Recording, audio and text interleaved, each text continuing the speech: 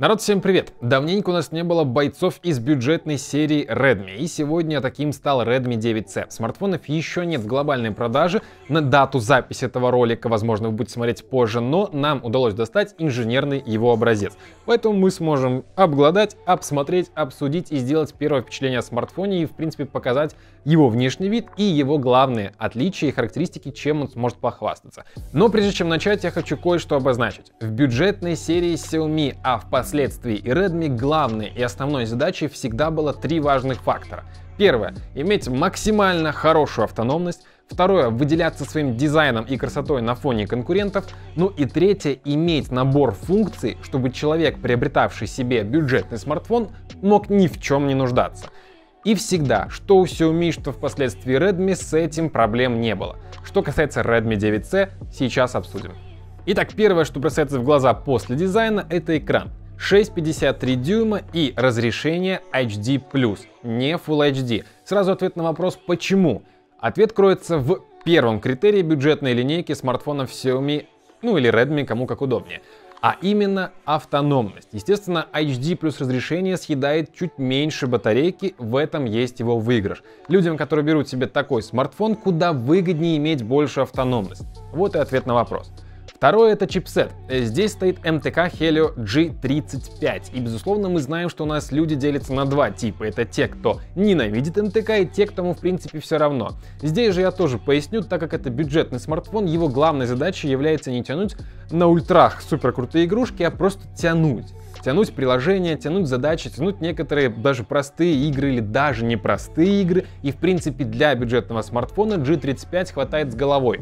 Кстати, интересный факт, Redmi 9C является первым смартфоном, на котором установлен именно Helio G35. Но возвращаясь назад, почему хорошо, что именно он здесь стоит, так это главная его особенность. Это довольно энергоэффективный чипсет, а мы вспоминаем первый пункт про автономность и понимаем, что именно это смартфону и нужно максимальная энергоэффективность, чтобы что правильно было как можно больше времени работы на одном заряде. Ну и третий момент, это естественно, несмотря на энергоэффективность, меньшую затрату энергии экрана, главное, чтобы еще у нас был хороший объем аккумулятора. Ну, здесь нас также не обделили, 5000 мАч. Не знаю, удивишь ли кого-то этой цифрой сейчас, в середине 2020 года, но, по-моему, еще до сих пор люди удивляются, и, в принципе, 5000 это очень-очень здоровая цифра, особенно как для аккумулятора в смартфоне, особенно при таких характеристиках, понимая, как мало он будет тратить и как долго будет жить.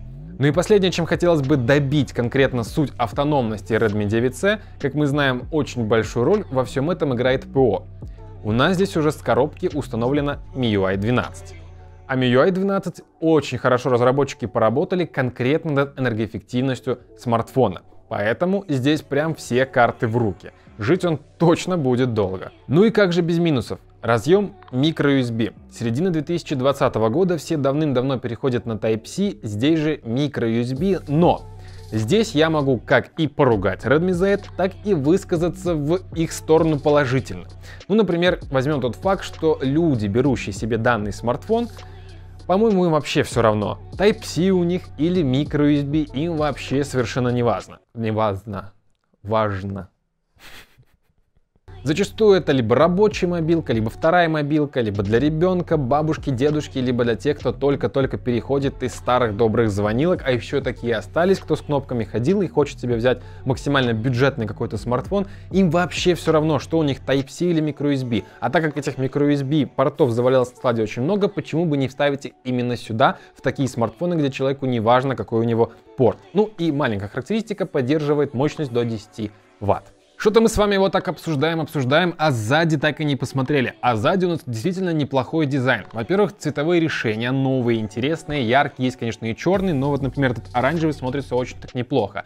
Корпус пластиковый, но не просто пластиковый, а некая рифленая поверхность. Ну и интересное расположение модуля камеры, квадратная, сверху слева, смотрится не ново, но свежо. Ну и, безусловно, есть сканер отпечатка пальцев, мое любимое слово, безусловно, проскакивает везде.